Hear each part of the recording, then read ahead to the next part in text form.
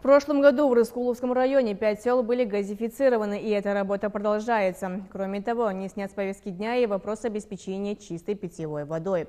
В этом году для жителей села Жана Турмыс он решился. Подробнее в материале.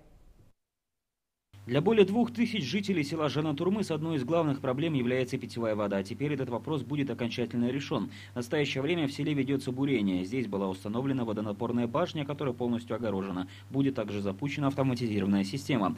Параллельно ведется прокладка внутрипоселкового водопровода.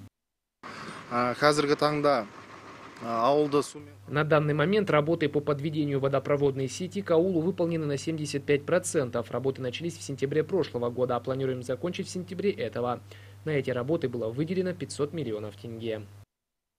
В целом по району в прошлом году полностью завершены работы по прокладке газопровода в пять населенных пунктов. Голубое топливо жители получили 16 декабря в честь 30-летия независимости. Сейчас 90% домов в этом регионе подключены к газовой сети, а малообеспеченным семьям местные власти намерены оказывать помощь.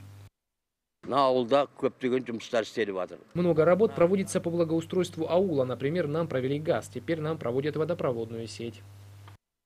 Кроме того, в рамках проекта ОСАР были обеспечены жильем две малоимущие семьи, а рядом с мечетью силами сельчан была построена столовая. Ильдар Гизатуллин, Канат Бахатулла, Жамбыл News.